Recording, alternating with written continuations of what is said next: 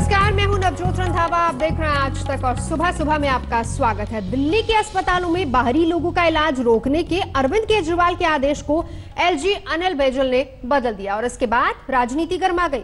केजरीवाल ने इसे दिल्ली वालों के लिए बुरी खबर बताया। तो मनीष सिसोदिया ने सीधे बीजेपी के दबाव में एलजी पर फैसला लेने का आरोप लगा दिया। कि कोरोना कोरोना तक, जब तक कोरोना है दिल्ली में, तब तक दिल्ली के अस्पताल केवल दिल्ली वालों के लिए रिज़र्व होने चाहिए।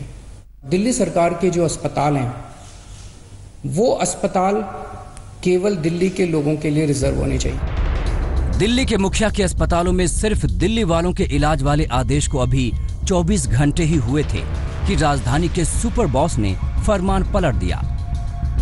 एलजी अनिल बैजल ने मुख्यमंत्री के आदेश पर रोक लगा दी। उपराज्यपाल ने दिल्ली डिजास्टर मैनेजमेंट अथॉरिटी के चेयरमैन की हैसियत से सीएम के फैसले पर वीटो लगाया है। नए आदेश के मुताबिक दिल्ली के अस्पतालों में सभी लोगों का इलाज होगा, यानी बाहर से आने वाले भी जगह खाली होने पर दिल्ली के सरकारी अस्पतालों में इलाज करा सकेंगे। इधर उपराज्यपाल ने फैसला बदला, उधर दिल्ली सरकार खफा हो गई। केजरीवाल ने तुरंत ट्वीट कर इसे दिल्ली वालों के लिए नई मुसीबत बताया। केजरीवाल ने लिखा, एलजी साहब के आदेश ने दिल्ली के लोगों के लिए बहुत बड़ी समस्या और चुनौती पैदा कर दी है। देश भर से आने वाले लोगों के लिए कोरोना महामारी के दौरान इलाज का इंतज़ाम करना बड़ी चुनौती है। शायद भगवान की मर्ज़ी है कि हम पूरे देश के लोगों की सेवा करें। हम सबके इलाज का इंतज़ाम करने की कोशिश करेंगे। मुख्यमंत्री के डिप्टी ने सीधे सियासी गेंद फेंका और बीजेपी की तरफ़ तोप का मुँह घुमा दिया। मैं भारतीय जनता पार्टी से ये पूछना चाहता हूँ कि आप देश में कोरोना के इलाज की राजनीति कर रहे हो, कोरोना के इलाज के काम के लिए काम कर रहे हो, या कोरोना के नाम पे राजनीति कर रहे हो, राज्य सरकारों की योजनाओं को फेल करने की राजनीति कर रहे हो? कल को अगर दिल्ली में जितने बेड हैं, वो दो दिन के अंदर अंदर भर गए, तीन दिन के अंदर अंदर भर गए पूरे देश से आके तो उसके बाद में दिल्ली में कोई आदमी बीमार हुआ, दिल्ली में किसी आदमी की मौत हुई तो वो कहाँ जाएगा? आपसे तो कहीं इलाज हो नहीं रहा ठीक से। आम आदमी पार्टी के इस गुस्से को बीजेपी सांसद गौतम गंभीर ने और भड़का दिया है। गंभीर ने तंज कसते हुए ट्वीट किया। दिल्ली सरकार के दूसरे राज्यों के मरीजों का इलाज नहीं करने के मूर्खतापूर्ण आदेश को खत्म करने के लिए एलजी का उत्कृष्ट कदम। भारत एक है और हमें मिलकर इस महामारी से लड़ना है। India fight against corona. Delhi में सियासत की भट्टी तो उसी दिन चढ़ गई थी, जब सीएम केजरीवाल ने बाहरी लोगों के लिए दरवाजे बंद कर दिए थे। साफ़ कह दिया था कि दिल्ली के अस्पतालों में सिर्फ़ दिल्ली वालों का ही इलाज होगा। इस फैसले के बाद दिल्ली में नए नए बने बीजेपी के अध्यक्ष आदेश गुप्ता ने पलटवार किया।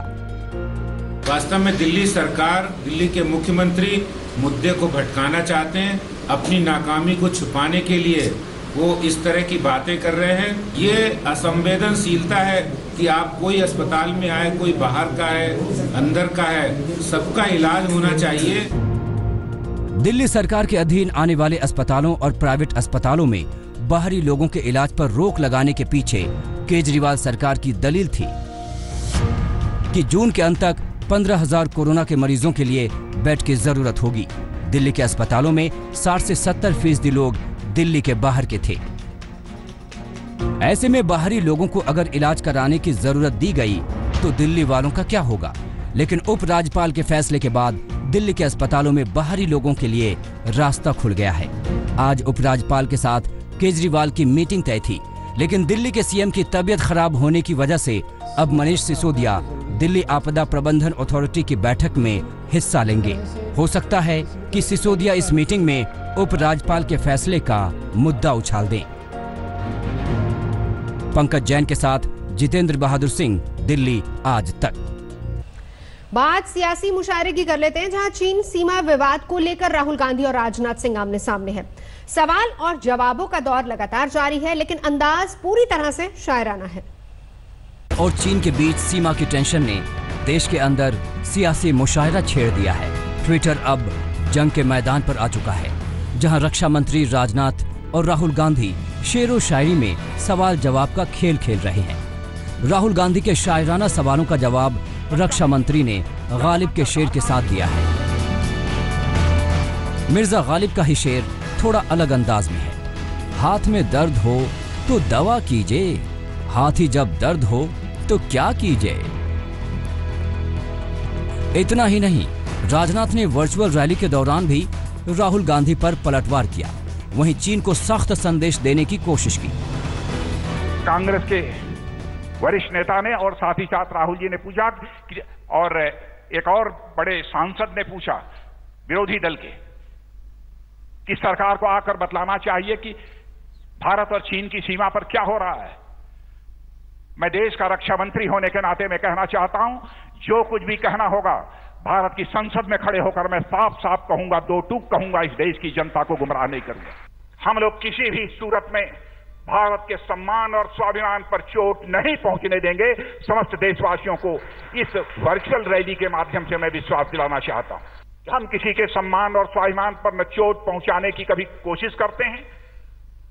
और हम अपने मान सम्मान और स्वाभिमान पर चोट बर्दाश्त कर सकते हैं, यह हमारे भारत का चरित्र है। दरअसल राहुल गांधी ने अमित शाह के अमेरिका और इसराइल के बाद भारत के सबसे सुरक्षित सीमा होने का दम भरने पर शायराना अंदाज में तंज किया था। राहुल ने अपने ट्विटर हैंडल में लिखा, सबको मालूम है सीमा की हकीकत, लेकिन दिल को खुश रखने को शायद ये ख्याल अच्छा है। इस ट्विटर युद्ध के बीच पार्टी नेता भी एक दूसरे के खिलाफ मैदान पर उतर आए।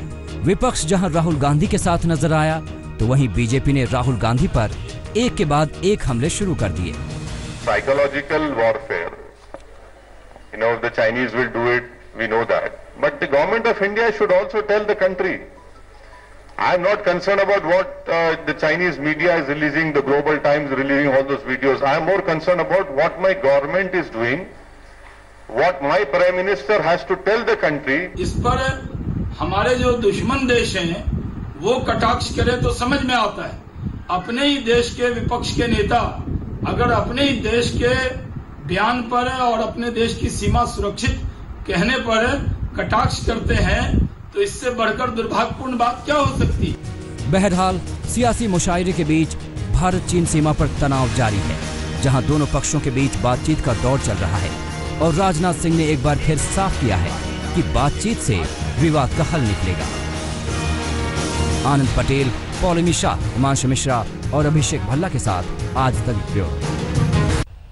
भारत और चीन के बीच बॉर्डर पर तनातनी खत्म होने का नाम नहीं ले रही। चीन से कूटनीतिक बातचीत तो चल ही रही है। बावजूद इसके लद्दाख में चीन के हेलीकॉप्टर्स देखे गए हैं। इन सबके बीच किन्नौर में भारत चीन बॉर्डर का मुआयना करने लेफ्टिनेंट जनरल आरपी सिंह भी पहुँचे। उन्होंने सीमा पर बनी अग्रिम चौकियों का दौरा किया। क्या चीन फिर से चल रहा है? कोई नई चाल?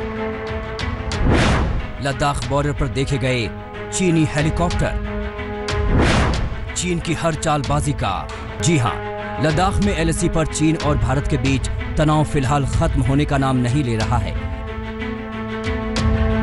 लद्दाख में चीनी हेलीकॉप्टर गश्त करते हुए देखे गए हैं। चीन ऐसी हरकतें कर रहा है, जिससे साफ़ है कि वो मामले को बातचीत के ज़रिए सुलझाने के मूड में नहीं है। वैसे भी चीन का ये पुराना रवैया रहा है, वो पीठ पीछे ही वार करता है, लेकिन इस बार चीन की हर गलत फहमी को दूर करने के लिए भारत तैयार है। उधर लद्दाख में चीन अपनी साजिशें कर रहा है तो इधर भारतीय सेना भी अपनी पूरी तैयारी करके मुस्तैद है। ये तस्वीरें पश्चिम सैन्य कमान के प्रमुख लेफ्टिनेंट जनरल आरपी सिंह की तस्वीर है। जनरल आरपी सिंह ने हिमाचल प्रदेश के किन्नौर से लगी भारत पाकिस्तान सीमा का दौरा किया। जनरल आरपी सिंह ने यहाँ मौजूद अग्रिम चौकियों पर पहुँचे। उन्होंने तैयारियों का जायजा लिया, जवानों से बात की। ऐसे वक्त में जब चीन के साथ भारत की तनातनी का दौर है तो ऐसे में lieutenant general R P Singh का यह दौरा बहुत मायने रखता है।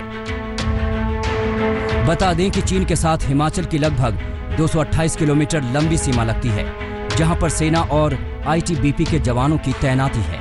आज तक ब्यूरो। लद्दाख सरहद पर चीन के साथ तनातनी के बीच एलओसी पर पाकिस्तान की हरकतें भी तेज हो गई हैं।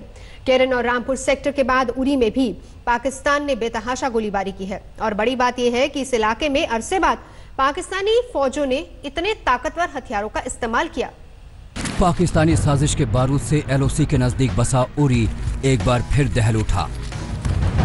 एलओसी के उस पार से पाकिस्तानी सेना भारत के इस गाँव पर अंधाधुंध गोलीबारी कर रही है। उन्हीं अनगिनत बारूदी गोलों में से एक ज़िंदा शेल मकान के पास गिर गया। सेना की बम डिस्पोजल स्क्वाड ने मौके पर पहुंचकर इस शेल को खाली जगह पर सुरक्षित तरीके से उड़ा दिया। लेकिन पाकिस्तानी गोले लगातार बरस रहे हैं और जहाँ गिर रहे हैं, वहाँ ये हाल हो रहा है। मकानों की दीवारों में छेद ही छेद हैं, छतें छलनी हो गई हैं। पूरा घर मलबे के ढेर में तब्दील हो गया है। ऐसी दहशत के बीच सेना यहाँ के लोगों को बाहर निकालकर सुरक्षित जगहों तक पहुँचाने में जुटी है। तबाही का ये मंजर देखकर घबराए छोटे बच्चों को सेना के जवान गोद में उठाकर ले जा रहे हैं। तवा केरन और रामपुर सेक्टर में भी पाकिस्तानी फौज लगातार सीज फायर तोड़ रही है। एलओसी के पहाड़ पाकिस्तानी बारूद के धमाकों से लगातार गूंज रहे हैं। और चारों तरफ़ धुआँ ही धुआँ है। इधर घाटी में भी आतंकी वारदातों ने एक बार फिर से ज़ोर पकड़ ली है। उधर लद्दाख सरहद पर चीन की हलचल भी लगातार बढ़ रही है। ऐसे माहौल में एलओसी पर पाकिस्तानी सेना की बेवजह गोलीबारी किसी बड़ी साजिश को ध्यान हटाने का शक पैदा कर रही है। कहीं चीन और पाकिस्तान मिलजुल कर कुछ खतरनाक तो नहीं पका रहे। शुजाउल हक और दाऊद शेख के साथ अशरफ वानी श्रीनगर आज तक।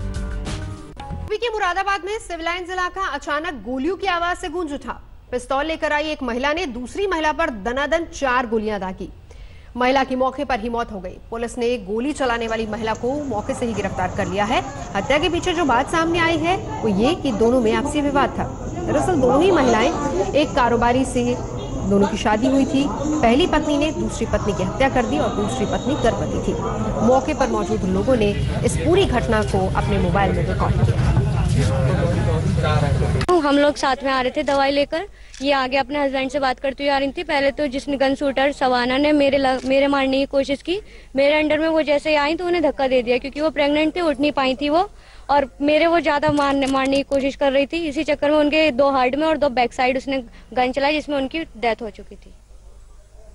क्या बात है? ये सात सात सात बज के कुछ मिनट्स की थी। दोनों में आपस आपस में क्या रिश्तेदारी दो सौ दोनों में आपस में दोनों फ़र्स्ट सेकंड वाइफ थी। पहली बीवी कौन पहली पहली बीवी सवाना थी। जिन्होंने गोली मारी जी जी। नमस्कार मैं हूँ अंजना ओम कश्यप हमें उम्मीद है ये वीडियो आपको पसंद आया होगा। लेटेस्ट खबरों के लिए यूँ ही देखते रहिए आज तक और इस वीडियो के पसंद आने पर लाइक, शेयर एंड सब्सक्राइब करना ना भूलें।